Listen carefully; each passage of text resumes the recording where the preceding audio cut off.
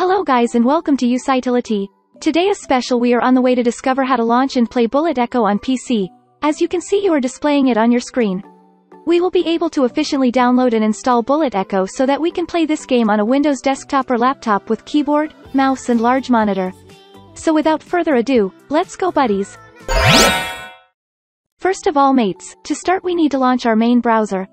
We open the one we use by default. Let's go to this URL I have highlighted in green color. There you are seeing it on the screen of the PC. There is no need to type anything, simply because I added a clickable link in the video description and as well in the first main comment. We landed on this page on our own website of Usitility, in which we have a nice precise demonstration on how to download and install Bullet Echo on laptop or computer. We scroll down a little bit and then click on the Download Game on PC button. Once clicking on that link, we reach the site of LD Player. No panic, it is simply the Android emulator that we are going to run to get access to this game Bullet Echo on PC. As you can discover from here we get several pros of using this emulator, custom controls, multiple instances, instance synchronization, macros, scripts, high FPS, and so on. Now we are on the way to proceed to download the Bullet Echo by simply clicking on this button download Bullet Echo on PC that you can see here in green. The step is clicking on that button. And the download action takes no time at all. Voila, here is located the download. It's a file we have to execute. The following step is to run the executable file. Okay, then we need to click on this file. If we are on Windows 10 it will have asked us for permission to make modifications to the system. We answered yes. I minimize the web browser to view the installation software considerably better. The installer is pretty simple. It contains a couple of choices, install, and setup path. I will make it clear what setup path does. We basically just click it and we discover that we display here the path in which the emulator is going to be put in. If we would like to change this folder we have to click on this Browse option, so we choose another folder and install the emulator wherever we desire. I will keep it where it is. Then, I click on Back. And I just click on Install. Now, before beginning installing this emulator, it is also possible that it'll show us several application deals to put on on the PC. Because I do not desire any of those software programs, I just simply press many times on the Reject button. Now, there it is. The install commences and it is going to commence together with the download of those MB which are shown on our computer screen. As you download it, it is likely to be more or less MB. The data transfer speed could go at a higher speed or at a lower speed, subject to your type of access to the web and depending on the velocity of the emulator hosting servers. Now they are going super fast. The download is finished, and so right now it continues on with the setup part. The installation requires a little bit more or less time based on the strength of your hard drive. The more robust it's actually, the shorter the software installation time and vice versa.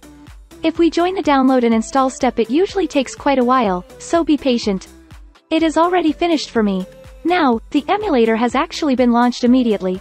As you can see, down here, there's a progress bar which will move forward to the right and when it comes to the finish, the emulator can be started for the first time. In reality the emulator was already started, there for the first time. So LD Store is immediately started, which is actually a sort of Google Play. This is simply not the most correct solution to set up the video game, therefore I will not endorse it, simply because quite often the LD Store installs an obsolete version of the Android game.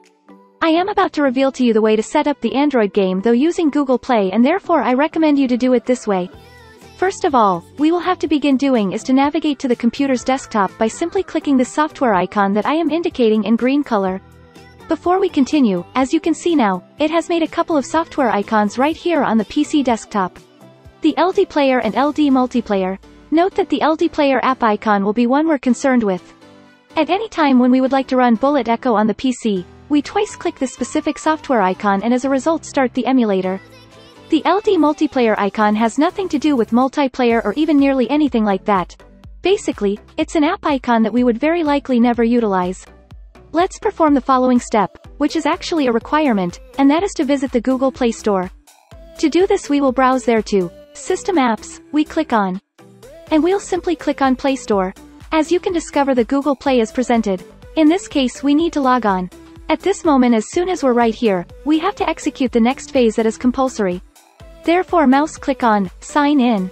Now it announces, checking info. It may in some cases get stopped at checking info, and so it isn't going to continue. If so, you could attempt to connect to your account after a couple of hours it's going to almost certainly be sorted out. Now we shall type our email and password. The email address needs to be a Gmail email address and its associated password. For instance you can utilize the same exact email address you are using at the moment in your YouTube account. Thus I will provide my info and I will return after I have done it. That's it, details typed in. Discover Google welcoming us and supplying us their terms of service. We must consent to all of them by just clicking, I agree. Next, it allow us to back up to the Google Cloud. You might keep it selected it's going to create a backup of your files on that device to Google Drive. I am not going to check it, you can utilize this option if you want. We mouse click on accept. The Google Play is presented as favorite choice and immediately. In case that the Google Play just isn't started automatically and you have no clue how to run it by yourself, I tell you how to do it now. Firstly is to proceed to the emulator desktop by clicking on this app icon marked in green color. At this moment we navigate to the System Apps folder. And we click on the Play Store icon. Okay, I am there inside of Google Play. What we are going to accomplish right now is go here to Search for Apps and Games. And we're going to do a search for Bullet Echo. Currently there we get it, we can pick the first result. Here we access to the video game. Let's quickly mouse click right here on the install link that I'm presenting now in green color. And it will initiate the setup. At this time it would download and install the game. It typically takes a little while or perhaps it could also be amazingly quickly. It all is going to depend on our connection to the internet. It says of now completed installing. Now, let's go to the emulator desktop by simply clicking the following button that I'm showing in green, so that you can launch Bullet Echo for the very first time. We are currently on the emulator desktop, then we're preparing to simply click that brand new Bullet Echo software icon that has been provided. The video game is started for the first time. Now there we get it. I can mouse click anywhere on the screen and also make use of the keyboard. I will talk about the sound level of that emulator. This is here, we have got the icon of higher volume as well as the icon of lower volume, this manner we will not use the Microsoft Windows volume to increase or decrease the sound experience of your emulator. And to appreciate the experience to the max, we should activate the large monitor, for which we have two alternatives. This is simply the very first one. We mouse click on this particular app icon which I'm pointing out in green color. And the display screen is maximized, enjoying one border on top, one on the right side and one at the bottom. In case we aspire to appreciate the app using all the screen, we hit that icon. And we'd without a doubt be enjoying the game app in 100% screen setting. To stop the full screen functionality, hit the F11 key. And we just play in standard computer screen setting. Now I am ready to explain you the computer keyboard mapping that is really quite useful. This step we may be ready to operate the game application more effortlessly. The first point is to mouse click this app icon.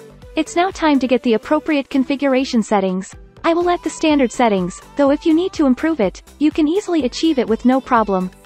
I take this moment to comment that in some cases, when commencing the game app a black screen occurs. If it is like that and you experience the black display and the emulator fails to begin, I propose a plausible alternative.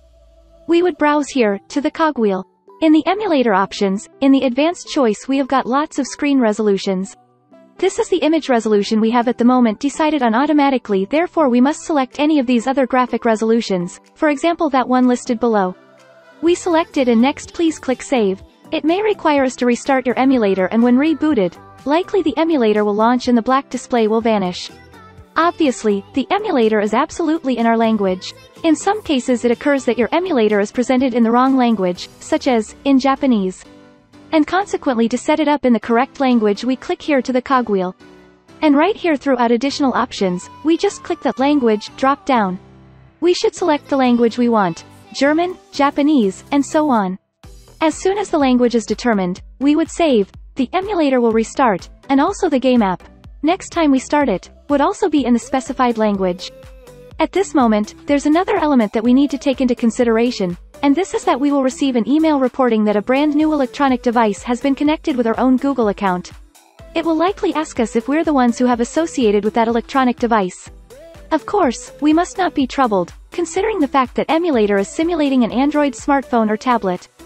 And to identify which electronic device is currently being emulated, we visit right here, to the cogwheel and we click on it. And we go here to the model choice. And there we notice that the emulator is emulating a Samsung mobile. And so we're going to receive an email saying that a new Samsung device has been connected to our Google account. That's all folks, so much for that video tutorial. I anticipate you appreciated it, especially that everyone thought it was informative. If that is so, bring it a superb like, subscribe to our channel, and I will be happy to answer your remarks, issues or ideas. Let them in the comment area below. You may also comment things on my Twitch channel. I conduct live streams every once in a while. You have it listed below in the video description and in the first pinned comment. Click on any of the training videos that are showing up on the listing of videos to watch and see you in the future training videos. Bye.